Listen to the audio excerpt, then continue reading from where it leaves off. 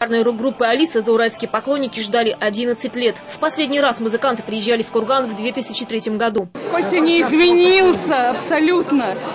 Что только поседел. Он восторг абсолютнейший. Большое спасибо Алисе, всем, кто это организовал. Просто без ума. Вообще. Я уже четвертый раз на Алисе. Курган – девятый по счету город, где музыканты представили зрителям новый альбом под названием «Цирк». Он, по словам Константина Кинчева, выдержан в стиле панк-рок. На концерте прозвучали 23 композиции, 12 из которых вошли в новую пластинку.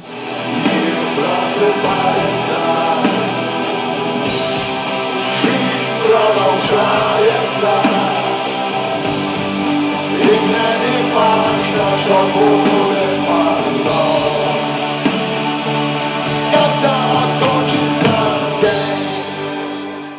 Рок-группа «Алиса» вот уже 30 лет является одним из лидеров среди музыкальных коллективов этого жанра. Поклонники группы называют себя «алисоманами». Самые преданные из них во время концертного тура ездят следом за музыкантами по разным городам. Каждый концерт в каждом городе Урала.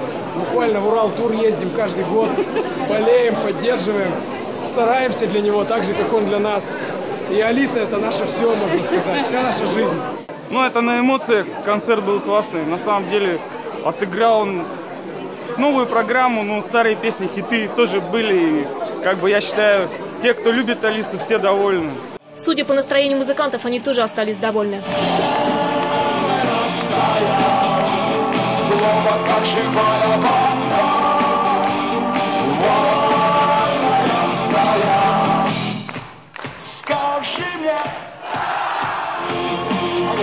спасибо вам Людмила Фитина, Евгений Брызгалов, Кирилл Пермяков. Вести за Урале.